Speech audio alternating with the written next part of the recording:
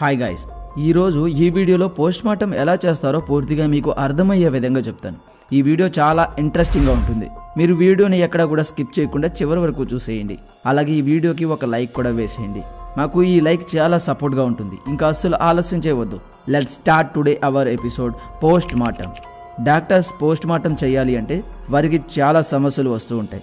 ఎందుకంటే ఒక్కోసారి dead body సరైన ఆకృతిలో సరైన రూపంలో ఉండకపోవచ్చు. అది ఎలాగంటే ఏదైనా పెద్ద యాక్సిడెంట్ జరిగినప్పుడు లేదా ఏదైనా పెద్ద ప్రమాదం జరిగినప్పుడు మనిషి యొక్క బాడీ ముక్కలుగా లేదా విడివిడి భాగాలుగా మాత్రమే ఉండే అవకాశం ఉంటుంది. అలాంటప్పుడు డాక్టర్స్ సరిగా అనలైజ్ చేయలేరు. అయితే ఇప్పుడు ఇవన్నీ పక్కన పెట్టి అసలు నార్మల్ డెడ్ బాడీని పోస్ట్ మార్టం ఎలా చేస్తారో తెలుసుకుందాం రండి. పోస్ట్ మార్టం యొక్క ముఖ్య ఉద్దేశం ఎలా చనిపోయాడు అని తెలుసుకోవడం. అయితే ఇలా పోస్ట్ మార్టం చేసిన తర్వాత అతని చావు న్యాచురల్ డెత్తా లేదా ఎవరైనా హత్య చేశారా? లేకపోతే వాళ్ళకి వాళ్ళే ఆత్మహత్య చేసుకున్నారా అన్నది పోస్ట్ మార్టం ద్వారా క్లారిటీ వచ్చేస్తుంది. ఒకవేళ డెడ్ బాడీని పూర్తిగా అనలైజ్ చేసిన రిజల్ట్ రాకపోతే అంటే ఎలా చనిపోయాడు అన్న దాని మీద క్లారిటీ రాకపోతే యూఎన్ డిటర్మైన్ చేస్తారు. చనిపోయిన మూడు రోజుల్లోపు పోస్ట్ మార్టం చేయలేకపోతే ఆ బాడీ డీకంపోజ్ అయిపోతుంది. అయితే అలా డీకంపోజ్ అయిపోయిన డెడ్ బాడీ మీద పోస్ట్ మార్టం చేయాలంటే చాలా కష్టమైపోతుంది. ఏదైనా డెడ్ బాడీ పోస్ట్ మార్టానికి వస్తే ముందుగా ఎక్స్టర్నల్ ఎగ్జామినేషన్ నిర్వహిస్తారు. ఈ ఎక్స్టర్నల్ ఎగ్జామినేషన్లో ఆ వచ్చిన డెడ్ బాడీ ఎలాంటి ఆకృతిలో వచ్చిందో సాక్ష్యాలు ఉండాలి కనుక ముందుగా ఆ డెడ్ బాడీ యొక్క ఫొటోస్ తీస్తారు. ఆ తర్వాత పోస్ట్ మార్టం స్టార్ట్ చేసినప్పుడు వీడియో స్టార్ట్ చేస్తారు. ఆ తర్వాత డెడ్ బాడీ మీద ఉండే టాటూలన్నీ ఒక రిపోర్ట్లో రాస్తారు. తర్వాత శాంపుల్స్ కోసం ఆ బాడీలో ఉండే బ్లడ్ని అలాగే చేతికి ఉండే గోర్లను తీసుకుంటారు.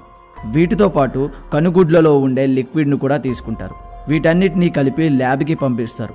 ఈ రెండింటిని ఉపయోగించి ఆ మనిషి చనిపోయే ముందు ఏమైనా డ్రగ్స్ కానీ డ్రింక్స్ కానీ తీసుకున్నాడా అని తెలుసుకుంటారు.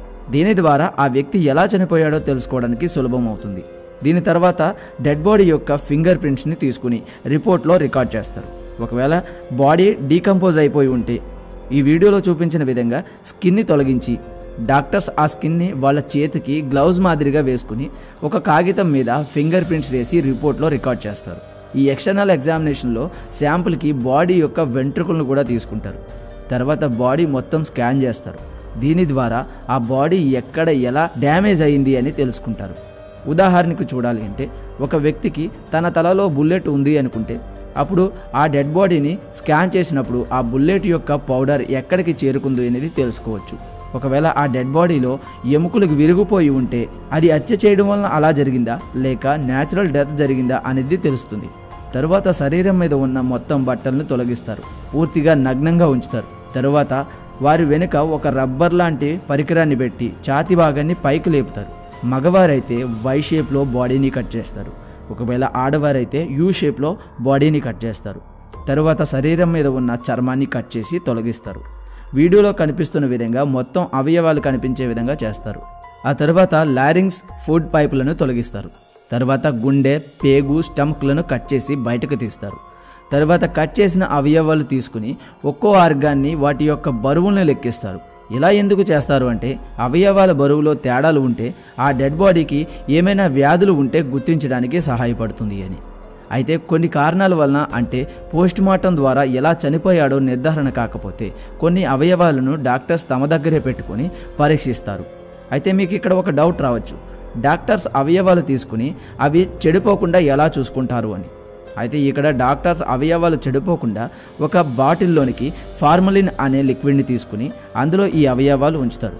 అయితే ఇప్పుడు చెప్పింది అంతా ఎందుకు చేస్తారు అంటే ఎలా చనిపోయాడు అని తెలుసుకోవడానికి ఇలా చేస్తారు. అయితే మన ఇండియాలో పోస్ట్ మార్టం అంటే చాలామంది దీనికి తిరస్కరిస్తూ ఉంటారు. ఎందుకంటే దీనికి రెండు కారణాలు ఉన్నాయి. అవి ఒకటి చనిపోయిన వ్యక్తి అంత్యక్రియలు ఆలస్యంగా జరుగుతాయి అని. నెంబర్ టూ పోస్ట్ మార్టం చేయడానికి ఎక్కువ ఖర్చు అవుతుంది అని. ఈ రెండు కారణాల వలన పోస్ట్ మార్టం చేయడానికి ఇండియాలో చాలా మంది కూడా ఒప్పుకోరనమాట సో గాయస్ చూశారు కదా ఈ విధంగా పోస్ట్ మార్టం అనేది చేస్తారు. ఈ వీడియో మీకు చాలా ఇంట్రెస్టింగ్గా ఉంది అనుకుంటున్నాను. అలాగే ఈ వీడియో ద్వారా ఒక కొత్త విషయాన్ని మీరు నేర్చుకున్నారు అని నేను అనుకుంటున్నాను.